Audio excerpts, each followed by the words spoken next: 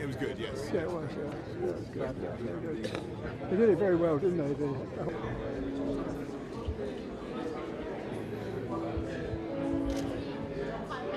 You know, what encourages me about it is that uh, it has not been uh, ruled unlawful by any, any UK court, even though we thought there would be huge legal uh, issues. Uh, it's not been ruled un- unlawful yet by an international court. And actually, other countries around the world, I mean, don't forget, Blunkett was going to do something like this uh, back in the, the late 90s.